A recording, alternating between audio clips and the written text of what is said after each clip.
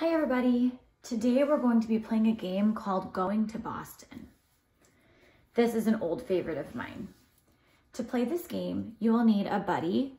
I have Bunny Rabbit here to play with me because I don't have a real buddy to play with at my house today. But if you have a real buddy who wants to play with you, that would be really fun too. I'm also going to have three dice.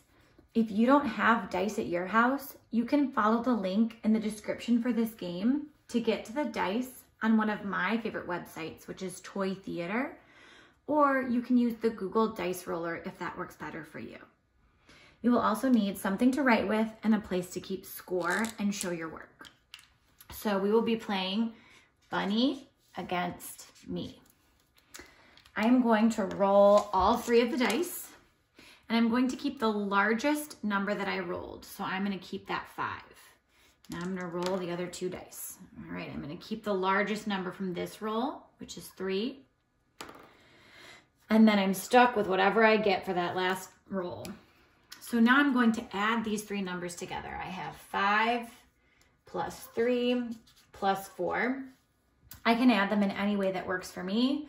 Um, I know that five plus three is eight. Eight plus two more is 10. So if I think about eight plus two more, that's 10. Two more than that is 12. So I have 12 for this round. All right, now it would be Bunny's turn. So Bunny's gonna roll all three of the dice and keep the largest number that he rolled. So he'll keep the six and roll the next two.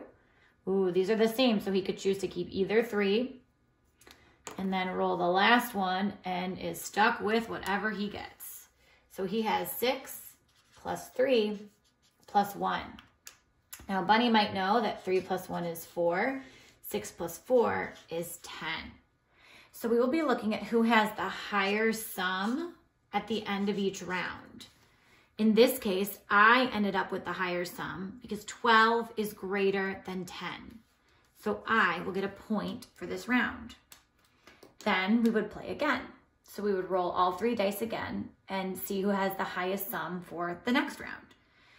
We can decide if we want to play the first player to five points, the first player to 10 points, or if we want to set a timer to decide how long we're going to play for and see who has the most points at the end of that time, that would be great too.